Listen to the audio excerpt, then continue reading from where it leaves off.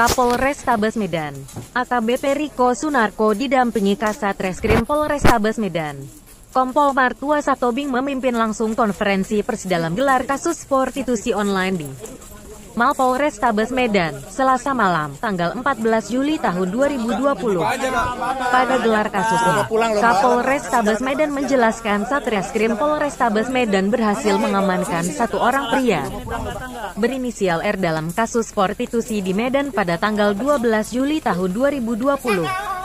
Tak sampai di situ saja, Tim Satreskrim Polres Tabes Medan berhasil mengintegrasi TSKR di sebuah lobi hotel bahwa ada seorang wanita bersama teman prianya di kamar hotel, katanya. Selanjutnya tim bergerak cepat menuju kamar hotel dan berhasil mengamankan seorang wanita yang mengaku artis sebuah televisi bernama Hani Hanifah dengan teman prianya berinisial dalam keadaan tanpa busana lengkap jelasnya. Dari hasil pengrebekan, petugas menemukan barang bukti berupa 5 HP dan alat kontrasepsi yang belum terpakai. Selanjutnya TSKR dan saksi Hani Hanifah bersama saksi langsung dibawa ke Polrestabes Medan. Lanjutnya, lebih dalam lagi, Riko mengatakan, tersangka yang diamankan merupakan seorang pria berinisial R yang merupakan berprofesi sebagai driver taksi online di Medan. TSKR diamankan petugas pada sebuah hotel di Medan, sebutnya. Dari hasil gelar perkara diketahui TSKR mengaku menjemput saksi Hani di bandara dan membantu saksi. Hani ke sebuah hotel untuk bertemu kepada saksi A dan dijanjikan uang sebesar 4 juta untuk mengurus. Saksi Hani selama di Medan. Dalam pengakuannya TSKR berkomunikasi kepada TSK lain berinisial J yang berada di Jakarta. Diketahui TSKJ diduga sebagai mucikari di Jakarta yang berprofesi sebagai fotografer. Dalam keterangannya, hasil penyelidikan TSKR ditetapkan sebagai tersangka sesuai pasal 2U nomor 21 tahun 2007 dengan ancaman hukuman minimal 3 tahun dan maksimal 15 tahun penjara tentang pidana perdagangan orang. Jelasnya, penyelidikan yang dilakukan selama dua hari di Polres Tabes Medan terhadap saksi Hani dan mengaku menerima transferan sebesar 20 juta dari TSKJ yang berperan sebagai mucikari. Di akhir paparannya Kapolres Tabes Medan menegaskan TSKR akan ditahan dan terus mengejar TSK lain. Berinisial J, untuk saksi Hani akan dipulangkan dan jika dibutuhkan untuk penyelidikan lebih lanjut akan dipanggil kembali.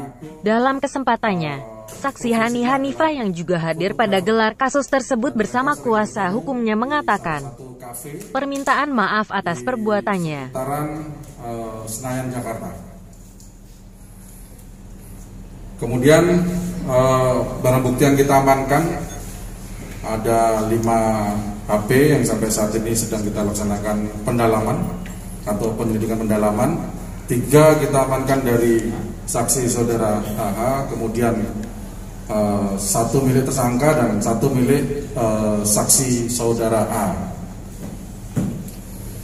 Kemudian berdasarkan gelar kasus yang dihadiri oleh penyidik Satreskrim Polrestabes Medan beserta unsur pengawas baik itu dari Propam maupun dari siswa Siwas Polrestabes Medan uh, terhadap saudara R ditetapkan sebagai tersangka sesuai pasal 2 Undang-Undang Nomor 21 Tahun 2007 dengan ancaman hukuman minimal 3 tahun dan maksimal 15 tahun.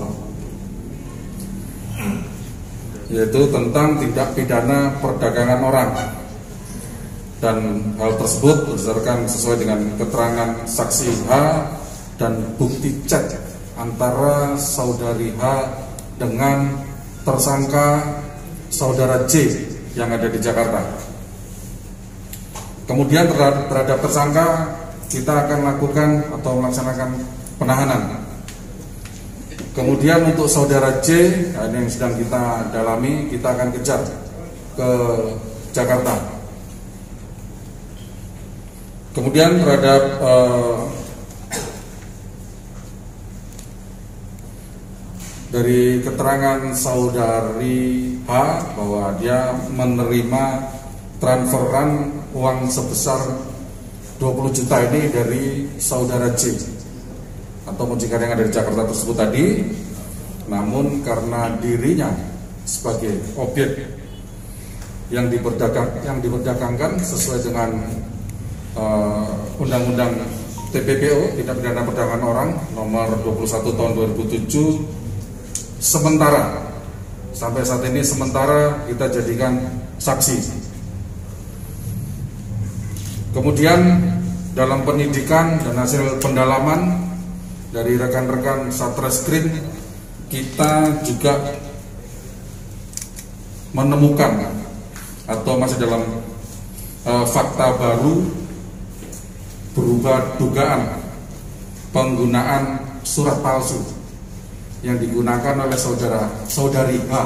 Nah ini yang sedang kita dalami dan nanti akan kita kirim penyidik kita untuk ke Jakarta mengecek uh, surat tersebut.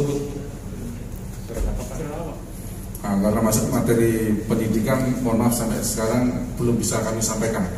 Tapi ada dugaan dari bukti-bukti yang kita temukan dari handphone dan dari hasil barang-barang yang yang kita sita dari uh, saksi H, kita menemukan uh, ada dugaan penggunaan surat palsu yang digunakan oleh saksi H yang, yang sedang kita dalami.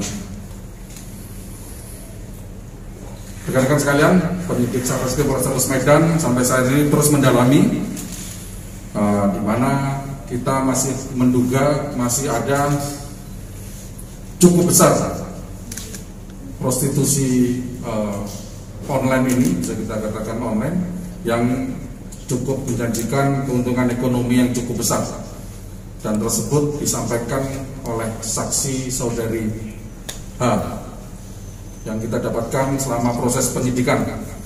Kemudian rencana tindak lanjut yang akan dilaksanakan oleh rekan-rekan penyidik yaitu yang pasti adalah melengkapi uh, administrasi penyidikan, kemudian menyita barang bukti yaitu CCTV yang ada di hotel dan mungkin tempat-tempat tertentu nanti termasuk pemeriksaan pendalaman kepada tersangka. Dan kita akan melakukan penahanan kepada saudara R atau tersangka. Kemudian kita akan bentuk tim untuk mengejar tersangka saudara C yang kita duga masih ada di Jakarta. Dan akan apabila sudah lengkap kita akan mengirimkan ke JPU Jaksa Penuntut Umum. Itu yang kami sampaikan. Kiri pak. Kanan pak. Kanan pak. Arah kanan pak.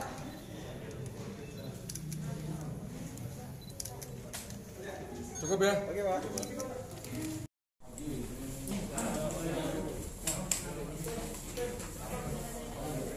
Dari Medan, Sumatera Utara, Tim Liputan Binews TV.